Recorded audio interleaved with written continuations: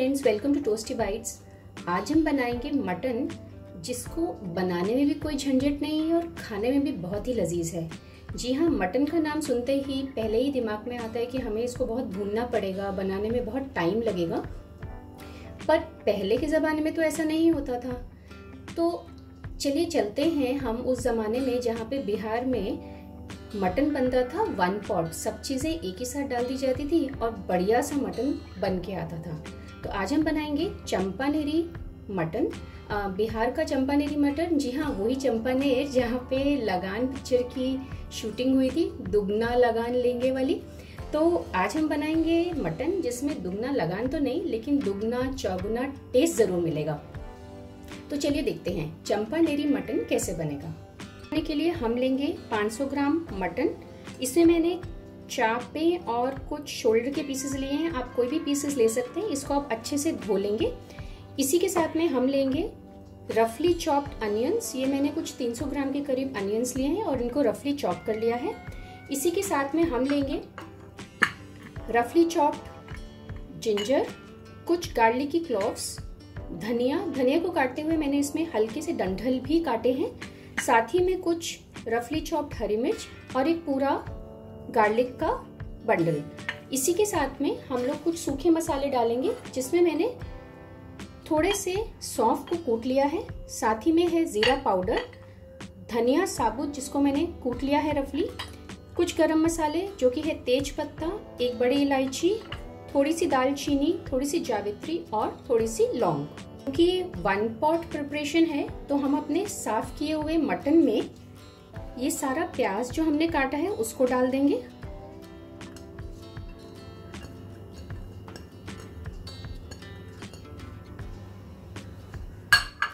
इसी के साथ इसमें हम डाल देंगे अदरक। अपने गार्लिक के क्लोव्स इसके साथ में इसमें डालेगा हरा धनिया, जो मैंने थोड़े डंडल के साथ में काटा है। इसी के साथ में हम इसमें ऐड करेंगे हरी मिर्च, साबुत धनिया, जो मैंने कूट के रखा था, रफली थोड़ा सा जीरा पाउडर। इसी के साथ में सौंफ, जिसको रफली कूट के रखा था, इन सबको हम देंगे अच्छा सा मिक्स। हमने मटन को धोकर उसमें डाला है रफली चॉप्ड अनियन, ग्रीन चिली अदरक, साथ में थोड़ा सा गार्लिक के क्लॉव्स इसी के साथ में हमने इसमें डाला है थोड़ा सा धनिया कूट के ज़ीरा पाउडर, उसी के साथ में डाला है हमने इसके अंदर सौफ का पाउडर। अब हम इसमें डालेंगे कुछ मसाले। मसालों में हम इसमें डालेंगे एक चम्मच लाल मिर्च, साथ ही में एक चम्मच कश्मीरी लाल मिर्च, दो चम्मच धनिया पाउडर डलेगा नमक। मैं इसमें नमक दो चम्मच भर के डाल रही हूँ। अब हम इसको देंगे एक अच्छा सा मिक्स दोबारा से, ताकि सारे मसाले जो हैं वो अच्छे से इसमें मिक्स हो जाएँ।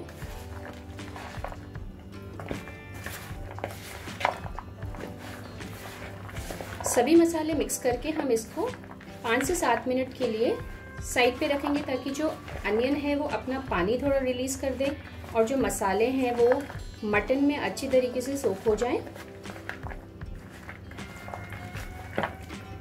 चलिए, हमारा मटन में सारा सूखा मसाला with onion chopped ginger garlic हरी मिर्च और धनिया मिक्स होके रख दिया है हमने। इसको हम पाँच से दस मिनट के लिए रखेंगे, तब तक हम अपना कुकर रेडी कर लेते हैं। हम एक लेंगे कुकर कुकर में हम डालेंगे सरसों का तेल।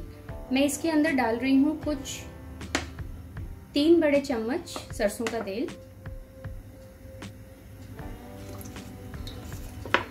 इसको हम हाई फ्लेम पे चलने देंगे ताकि इसका कलर चेंज होगा। जैसे इसका कलर चेंज होगा, इसमें हम सारे अपने खड़े मसाले डालेंगे। बहुत ही अच्छे से गर्म हो चुका है। इसमें अब हम अपने खड़े मसाले डालेंगे। इसमें डलेगा बड़ी इलायची, जावित्री, दालचीनी, लौंग, तेजपत्ता। इसी के साथ इसमें हम ऐड करेंगे अपना पूरा का पूरा मटन का मिक्स इसमें हमने सारे मसाले डाले हुए थे।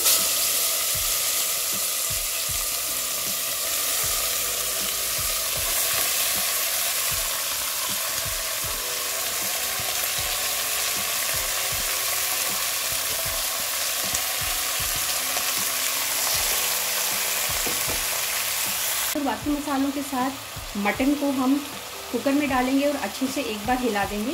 इसी के साथ इसमें हम डाल देंगे कुछ साबुत गार्लिक जो हमने पूरा का पूरा गार्लिक का पॉट लिया था, उसी में से मैंने इसको निकाल के डाला है। हमने इसको छीला नहीं है, सिर्फ़ इसके ऊपर का जो डंठल है वो निकाल दिया है। इस स्टेज पे हम कुछ नहीं करेंगे। जी हाँ फ्रेंड्स अब हम कुछ नहीं करेंगे। यानी कि हमें कुछ भी भूनना नहीं है। हमने कुकर में मटन के साथ सारे मसाले डाल दिए हैं। अब हम करेंगे कुकर का ढक्कन बंद और एक सीटी आने के बाद इसको रखेंगे 10 मिनट के लिए लो फ्लेम पर। फिर करेंगे गैस को बंद और कुकर को अपने आप इसका प्रेशर रिलीज़ करने देंगे। मैंने कुकर खोल दिया है, इसने अपने आप अपनी स्टीम जो है वो रिलीज़ कर दी थी। आप देख सकते हैं, मसाला बहुत ही बढ़िया कलर का बन गया है। पानी बहुत सारा रिलीज़ हुआ है और मटन जो हमारा है, वो हाफ़ कुक हो चुका है। आप ये देखिए, ये कट भी रहा है और अच्छे से हाफ़ कुक हो भी गया है। अब हम गैस को करेंगे तेज और इस पानी को हम सुखाएँगे भूनते हुए। फ्लेम को तेज यानी कि हाई पे रखा है और अब मैं इसको भूनते भूनते इस पानी को सुखाऊँगी जब तक इसका ऑयल रिलीज़ नहीं होने लगता है। बाकी मसाले डालते हुए मैं शायद हल्दी डालना भूल रही थी तो मैं इस स्टेज पे हल्दी डाल रही हूँ। आप बाकी मसाले जो हमने इनिशियल स्टेज पे डाले थे, उसी स्टेज पे हल्दी को डाल सकते हैं। मेरे से मिस हुई थी तो मैं इसको इस स्टेज पे डाल रही हूँ। अब मैं इसको अच्छे से भूनती रहूँगी और इस पानी को अच्छे से सुखा लूँगी। ये जो है पानी, ये ऑटोमेटिकली अनियन ने और मटन ने छोड़ा है। तो इसको मैं हल्का सा सुखाऊँगी और इसी ढंग से इसको भूनूँगी। करीबन पाँच मिनट तेज़ गैस पे इसको भूनने से देखिए कितना बढ़िया सा कलर आया है और इसका पूरा ऑयल जो है वो रिलीज़ हो चुका है। तो हमारा जो मटन है वो भुन चुका है। क्योंकि मेरा मटन जो है वो बहुत ही ज़्यादा टेंडर था तो 10 मिनट सिम पे रखने पर ही ये ऑलमोस्ट गल भी गया है। सो so 80 परसेंट मेरा मटन जो है वो गल चुका है। ये डिपेंड करेगा कि आपका मटन कितना टेंडर है उसके बेसिस पे आप डिसाइड कर सकते हैं कि आपको जो नेक्स्ट टाइम इसको गैस पे रखना है कुकर पे रखना है फ्लेम पे कितनी देर के लिए रखना है आ, स्टीम करने के लिए। मैं इसको सिर्फ़ और पाँच मिनट के लिए ही रखूँगी। अब क्योंकि ऑयल रिलीज़ हो चुका है इसमें मैं डालूँगी थोड़ा सा गर्म पानी। उतना ही गर्म पानी डलेगा जितना गर्म पानी आपको या जितना ग्रेवी आपको चाहिए। करीबन पाँच मिनट हाई फ्लेम पे इसको भूनने के बाद, देखिए कितना बड़ा, बढ़िया सा रंग आया है।